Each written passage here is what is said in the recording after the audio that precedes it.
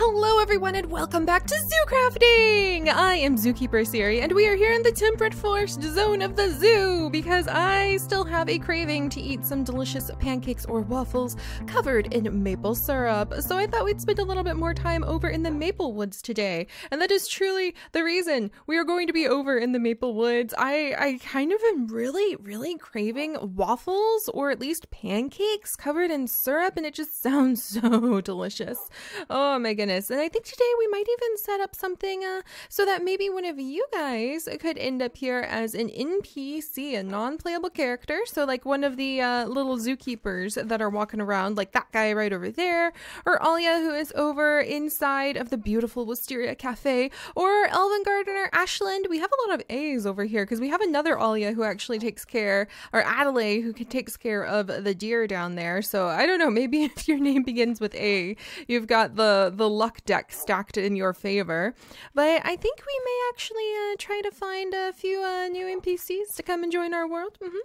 Just, just saying, it's about time to start seeing some of you guys roam around. Not to mention, we have several amazing NPCs and trees coming from our Patreon group. So, mm -hmm, mm -hmm. we definitely need to have a, a little bit of work going. Uh, Ash, what are you doing? Oh my gosh, be careful up there, Ash. I don't think you have feather falling, but you definitely are like your auntie, and you are going to do the most dangerous thing, aren't you? All right, well, sit for a second, you two. But yeah, I'm, I'm really, I'm feeling it, you guys. I'm feeling like the temperate forest area is just so close to completion in a lot of ways. We'll spend a little bit more time here, kind of sprucing it up and uh, adding, adding a spruce tree forest, perhaps. Eh? Eh? What do you think? Sprucing it up, spruce tree forest. Okay, look, I can see the judgmental glance I'm getting from one of my zookeepers there. Fine. Not to mention, oh, oh yay!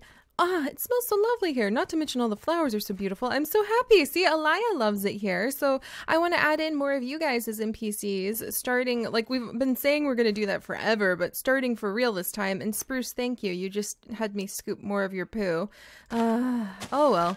All right, let's clear this up, see if it, oh, sure enough, it did grow some grass. Cut the grass, nothing inside, that's just fine.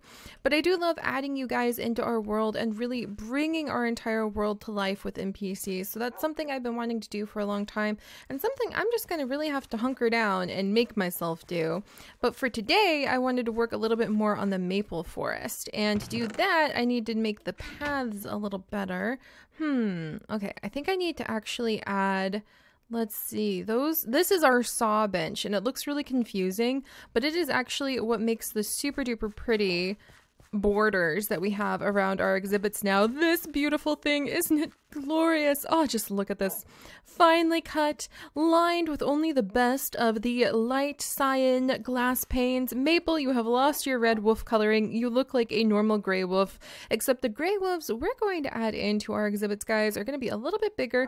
There's Spruce, there's Summer. Lily, don't play with the wolves we don't need my my dogs playing with the wolves, please. Oh, I love the red wolf exhibit. It's still one of my favorites that we've ever built and we've ever worked on. But all right, yes, uh, I love the saw bench because it makes this beautiful exhibit windowing and it just looks fantastic. But that's not why we were inside of the zookeeper station. I want to keep working on the path in the forest because I think it's about time to start marking off the spot. Okay, there's a lot of trees in my way, so I can't show you guys easily. But right up here is this really cool cliffside, and on the top of the cliffside, up there, is where I want to build the Grey Wolf Cabin Retreat. So it's going to be a big, beautiful retreat that people can go to, and they're going to be able to uh, just have like a cabin room. They can rest. We have food with our maple little shop, the maple syrup shack we have, and our picnic pickup table we have. We have some entertainment and some education with all of the deer. I can hear them from over here. You guys are so noisy, so noisy. We've got uh, the education part with some deer and red wolves and our woodpeckers in this area and our little education station. But we need somewhere for people to be able to rest too. So I want to make a path so we can at least start working on that project that we've talked about for ages. So we're going to head up there in just a little bit. Um, let me go ahead and throw these dandelions and see anything else. The Japanese radish seed I don't need. So we can turn it into compost in our wonderful compost bin. Ash was actually just playing in this compost bin. It was ridiculous. All right, you two go ahead and sit. I need to get more food for my dogs really quickly too. So let me go ahead dig around. These are animal traps right over here. And it's a little bit humbling to have to go ahead and use the animal traps, but I need what we get from it. The leather in particular is very useful. All right, we've got some eggs and there's a bone. I have a whole bunch of cool plants to put away. Oh my gosh, those deer are so noisy. Calm down, deer. All right, let's come this way. Put away the artist conch. Uh, the dirt is actually what I need to make the path. Oh, and I love finding the little ammolite shards. Nice. Put the feathers away, put the eggs away for now. And I might need to fill up more bait into these animal traps. I'll take out the bone. Oh, look at the we just caught a rabbit. I'm sorry, rabbit. It's the the cycle of taking care of things in the zoo. We've got the whole food chain after all. Lots and lots of leather from the veggie bait. So I might need to remember that for the future because I'm always in need of more leather it seems. All right. Well, it looks like the veggie and fruit bait are pretty well stocked, so we don't need to worry about it. Wow, I've got a lot of leather in here. Oh my goodness. I always forget how much we've got hiding in this section. Um, we'll go ahead and take all of the raw chicken for my dogs. And I think I should just throw some of these seeds, like the blackberries and things. Can I just throw in the coriander seeds and like lemongrass and huckleberry? Can I just throw these into and carrot seeds and blueberries? Can I just throw these into the compost bin? I kind of need to clean up our little zookeeper station back here, don't I? All right, let's see. Oh, can't put these berries in but I can put all these berries in. There we go. I guess I can go ahead and eat these. They're probably dried and old by now, but better than nothing. Am I gonna get a chick chick? Oh no, I did get a chick chick. I kind of was just joking about that. What do I do with you? Um, welcome little guy. I was literally, I was I was just kind of joking. I didn't actually want to get a little chicken right now, but um um, oh, I'll put him with the woodpeckers. Okay, come on, Lily. Come on, Ash. I keep calling you Tate, by the way. Ash, I'm sorry. All right, we've got some dog food with the raw chicken now. Oh, oh no, I have raw chicken, but I have a little wild chick chick. Okay, we're gonna put the little chick chick with the woodpeckers. I'm sure that'll work out just fine. There we go. And then we're gonna we're gonna look for some more of these beautiful wedge slopes to make a path. Oh, I love this side of the zoo. It's just so pretty. All right, so the temperate forest bird aviary. All right, Ethan, I know that you're. Oh, I just got one of the woodpecker feathers. That's so cool. It's nice to pick these up randomly. Ethan, I know you are very busy building this interactive birdseed station for all of our zoo guests, but I just got, uh, let's see, Hello, seriously. I'm Ethan, keeper of the temperate forest, uh, the temperate forest zookeeper. I take care of the birds mostly. Yes, and he actually will help you if you bring zookeeper experience points. And I need to replace the texture for the zookeeper experience points, so don't panic if you don't recognize them. But he will help you to build different types of bird feeders. Right now, we only have a goldfinch feeder, but if you come by with sunflower seeds and a seed bag, then you can build a goldfinch feeder with our wonderful zookeeper here. And you can add goldfinches into any area in your world. And I really love that. We need to teach Ethan how to make some other feeders of different types. So maybe people could have woodpeckers near them. Maybe they could have blue jays. That would be really fun. But for now, Ethan, please watch after this itty bitty little baby chicken, and maybe it will end up following this this like adorable little chickadee, and and you'll just stay here. And I forgot how beautiful it was in here. Maybe I can eat lunch in here somehow. Uh, I do have hmm. I'll have some peach tea. Let's just sit down for a moment uh, ignoring the adorable chickadee who is under our feet, and admire the zoo for a second because holy moly, I forget we've done so much. When we spend so much time over in the unfinished areas of our zoo, I forget how much we've accomplished. And look, you can see an int way in the distance there. That's pretty impressive too. But yeah, wow. This is the potential of what the rest of our zoo could look like if I just got it together. Oh gosh. Well, that's very motivating. All right. Though I should talk a little bit kinder to myself, it has been a very busy year. I can't believe, and actually I've got an extra chest. And this is the picnic pickup station, and Ben is hanging out here, and there's some mysterious bugs over here. He's always collecting those uh, little bug eggs of all types and uh, growing bugs. So it's really fun to talk to him too, because hang on, there we go. Because he's just got mystery bug eggs you can get. He's got beautiful flowers you can get.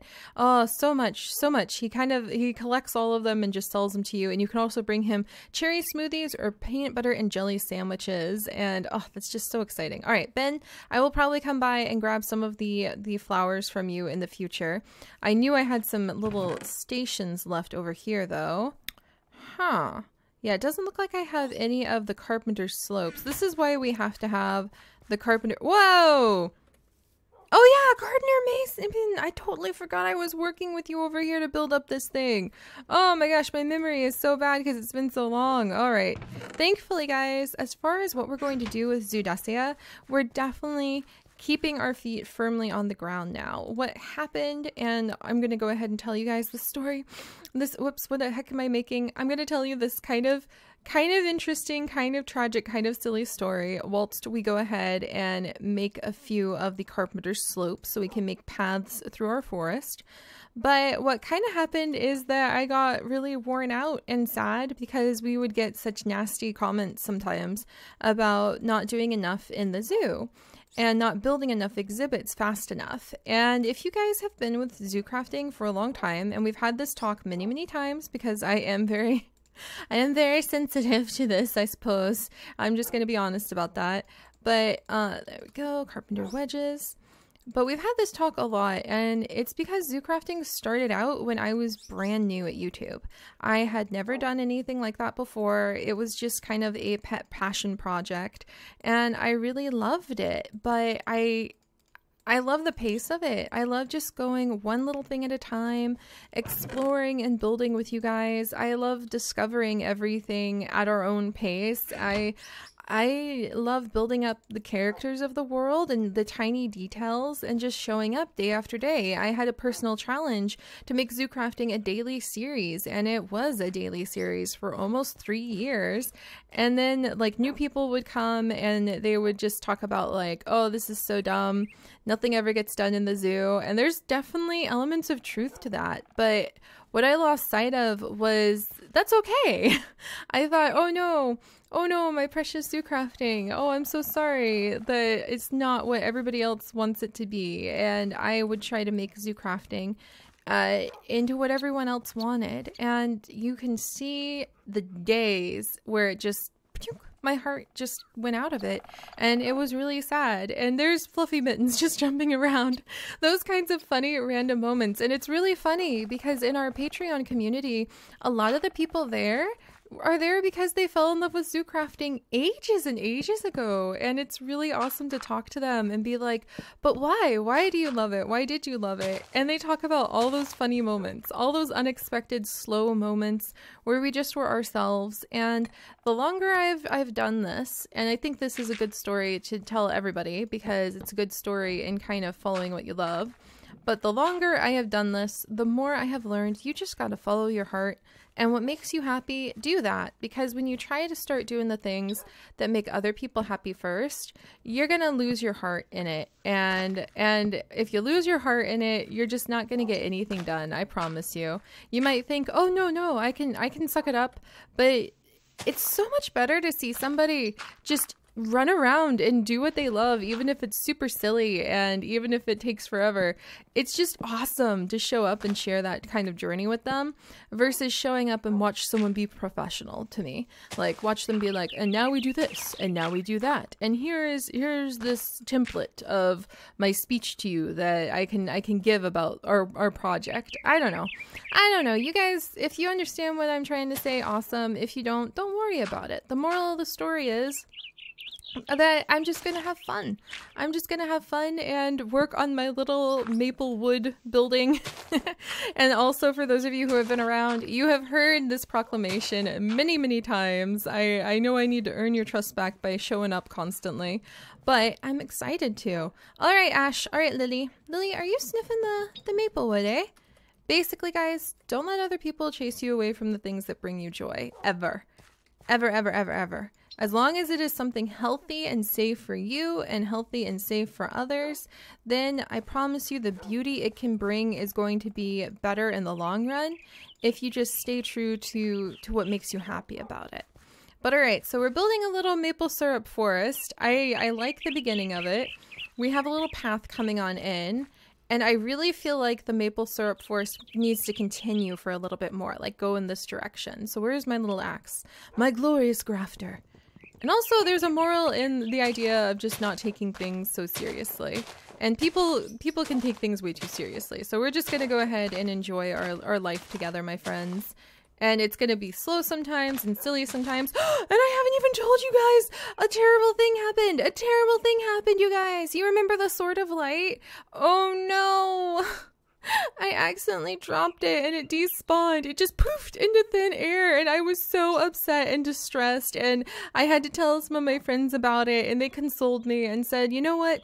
That just means we're going to have to go out and we shall adventure in the world and we're going to have to go on a grand adventure looking for a new weapon from all of those artifact uh, little temples, those wizard towers that for some reason show up in our world in the future and I am so excited about that. We get to go on a big journey. Oh my gosh, it's going to be so much fun. It has been a long time since we have gone on a big journey or plant collecting journey, and already my heart just is singing and feels so light. Oh my gosh.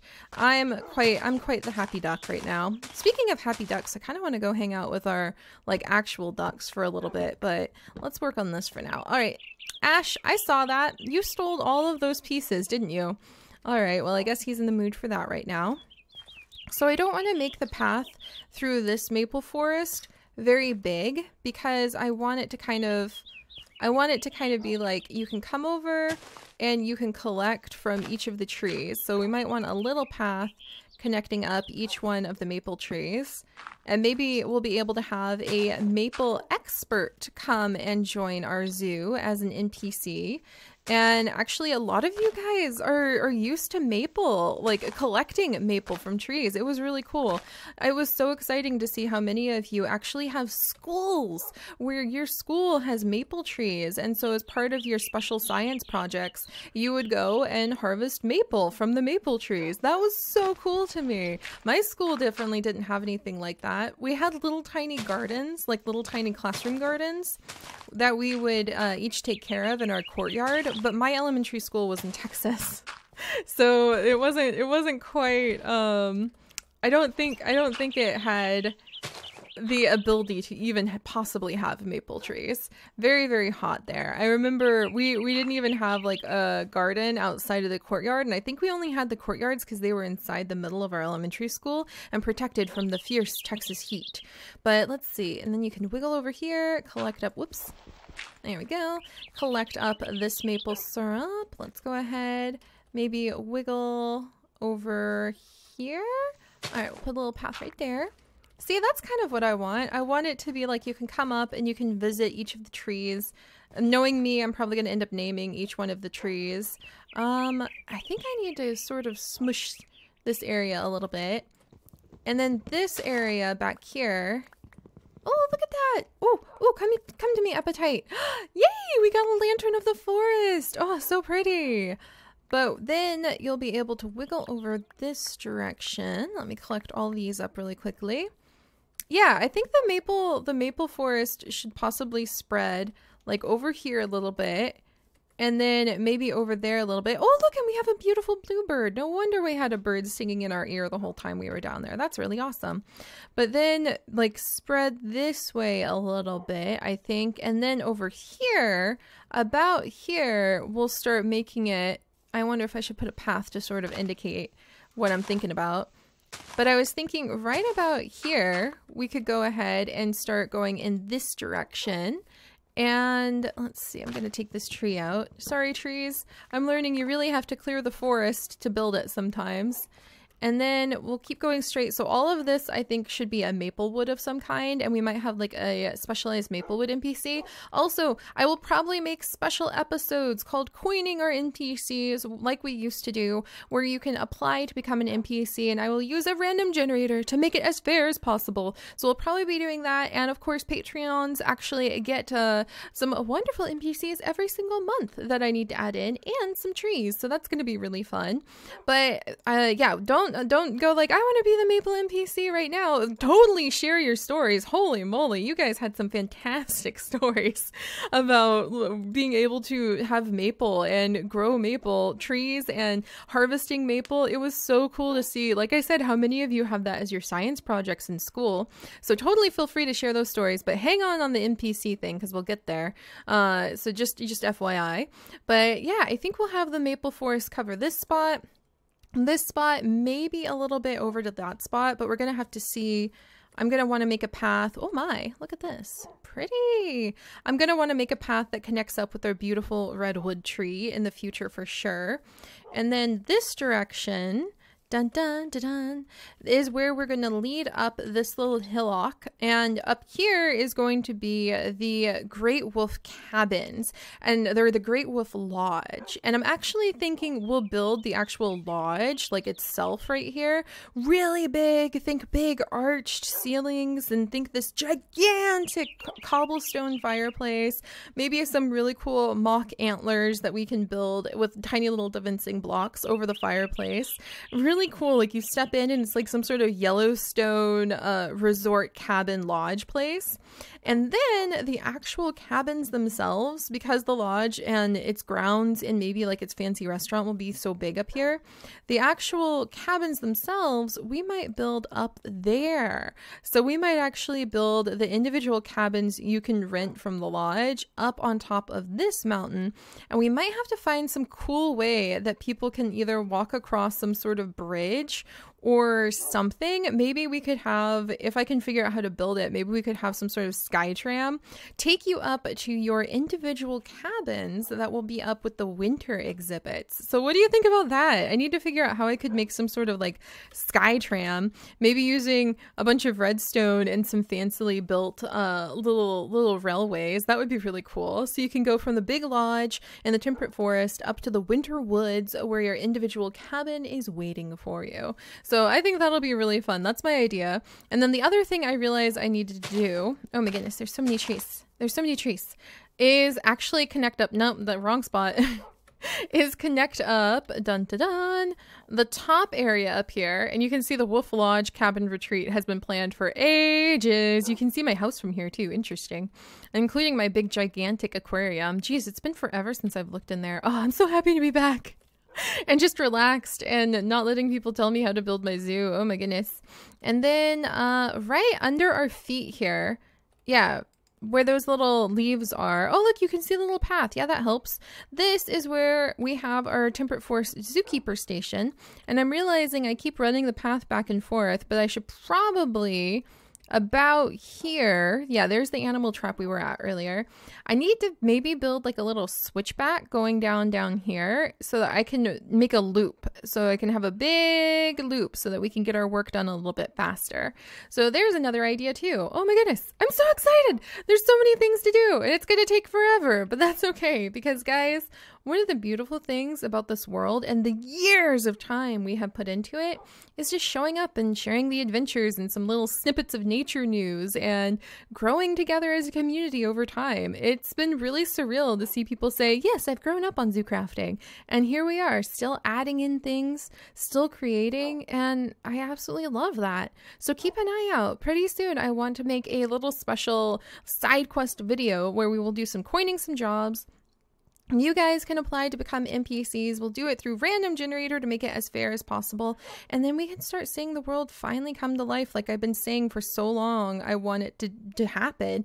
But thank you so much to all the people in the Patreon Discord and to all of you who have sent in letters and have sent in messages it's been a wild, bumpy ride, and if you've seen my vlog channel, you know a few of the details why to get back here. But I just want you guys to remember never criticize somebody for the joy they bring into the world if it is truly a good thing. There's no reason to do that, and you never know what their joy might grow, even if it's slow and maybe not always to your taste if you just you let it grow. You know what I mean? So so don't joy is not a weed, even if it grows very slowly. So don't pluck it out of the garden of life.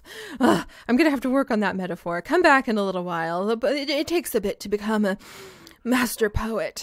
All right, but alrighty, I'm gonna get a little bit more of this path cleared up. I think we're gonna plant some more maple trees. I'm really feeling the maple thing. I don't know why. It's probably because Chips won't let me have a waffle maker, and like this is my way of rebelling by by setting it up so that I can have an entire forest of maple syrup and delicious waffles. But I have cleared out most of the waffles from the syrup shack, eating them now so we might have to actually make more before we get an NPC in there, but we'll have to see. We'll have to see. I'm just I'm just loving the slow, steady, happy adventure. Ash, you're sitting on a torch. Do be careful, my boy. And I will see you all next time. Bye-bye.